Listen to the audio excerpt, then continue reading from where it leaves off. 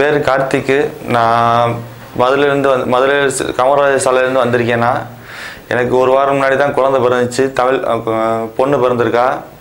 Royal ரொமான்டிக்கில் பேர் வைக்கிறதுக்காண்டி வந்திருக்கேன். இங்கே நல்லா கரெக்டாக பார்த்து சொல்கிறாங்க அவங்க.